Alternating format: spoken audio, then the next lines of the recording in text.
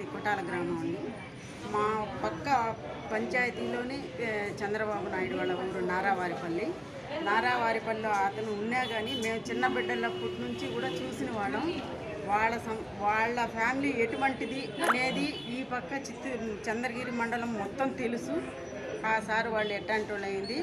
కానీ ఆ వాళ్ళ వరకు అంత మంచి ఫ్యామిలీ అంత మంచి ఫ్యామిలీ ఆయన్ను ఈ వయసులో తీసుకుపోయి ఆ విధంగా ఇబ్బందులు పెట్టాల్సిన అవసరం ఏముంది?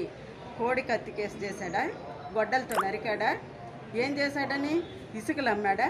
ఏదైనా ఆక్రమమైన భూములు దాచుకున్నాడా? ఏం చేశాడని ఆ నైట్ అంత రాత్రిలో తీసుకుపోయి ఆ మాదిరి విమర్శించాల్సిన అవసరం లేదు జగన్మోహన్ రెడ్డికి. ఏమో అనుకోండాడు.